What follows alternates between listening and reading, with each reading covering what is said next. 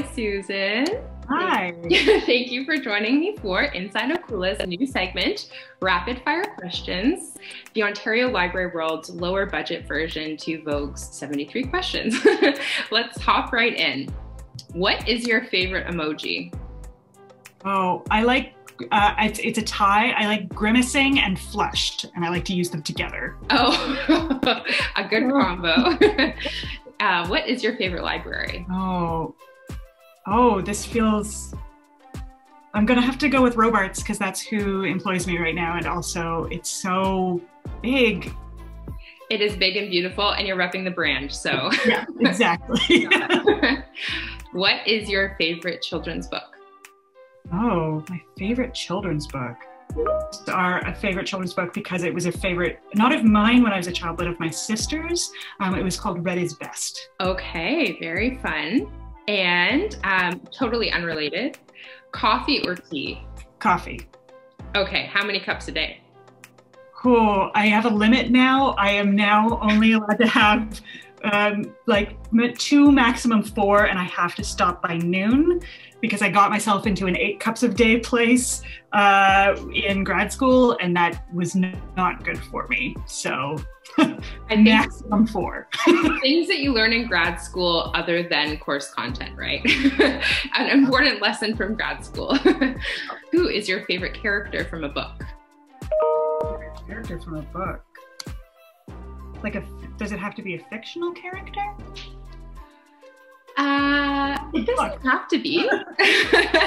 this is a new series, so uh, yeah, yeah. we go. I'm defining your terms here. Uh, so when I'm not in a library, I work in the theater a lot. So I'm gonna I'm gonna interpret book not as necessarily as novel, but I will include plays, and I'm going to use a fictionalized version of a real person. Um, and I'm going to say Queen Margaret, uh, who is Margaret Anjou in the Shakespeare Henry VI plays and Richard III. Wow. Okay. well, I'm going to have to look into that now.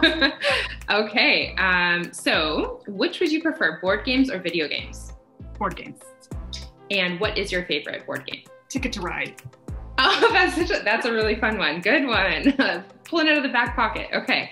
Uh, what are you currently reading? What am I currently reading? Oh, I'm rereading Orlando by Virginia Woolf for my book club. Oh, I love that. And for a book club too. That's really fun. I think that um, Orlando is super undervalued and the like low key best Woolf book. That's just our opinion maybe but I, I, recommended it to my book club because it's the it's the piece one of the works of literature that i kept returning to at the beginning of the pandemic because of that weird suspension from normal time that happens when the Thames is frozen. And I think I was trying to think of like what's a positive version of suspension from, from normal time.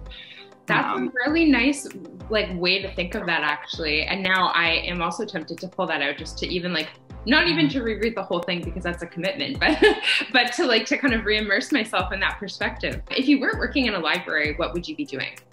I would be working in a theater, hopefully, as a dramaturg. You've alluded to that. Okay, I'm, I'm noticing a trend.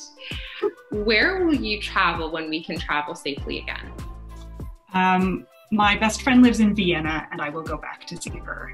Oh, that sounds so lovely. And to see a friend as well, even better. Yeah. What would your ideal office look like? Lots of natural light um, and a door that is open most of the time. Oh, yes. Get that airflow in and don't feel like you're trapped in a jail. Yes. and, and, so that so that people, I can have access to the people. the thing I miss the most working from home is being around lots of people all the time. So. Okay. But I don't the fluorescent lights, not at all. oh, yeah, that's a good point. Uh, it's interesting because Melanie also said um, natural light. That was the first thing she said too. So, okay, um, cats or dogs? Oh, that's nice. What is your least favorite library related stereotype? Uh, the shushing. It's probably the shushing. okay, yes, that's a good one. that comes immediately to mind. Uh, what's one piece of advice you'd give to new grads? Don't think of yourself as only being able to do one thing. There are things that you have experience with that are not directly related to what you think of as your career trajectory that will uh, influence your path. And you'll be happier if you embrace things because you like doing them than if you embrace them because you think they're going to lead to a good job. Yes, that's great advice. Retweet. Underscore bold. okay, so I'm gonna um, switch into some more personal questions now. Not too personal. After lightly stalking you on Twitter, I couldn't help but notice your love of hashtag DFF or yes. initiated hashtag drunk feminist films. So let's yes. dig, into some hashtag DFF rapid fire questions. All right. So, what is the best drunk feminist film? I think that. Uh, um, oh, what's it called? Cruel Intentions was an excellent cinematic experience uh, for the DFF. Yeah. Okay, I can I can only begin to imagine.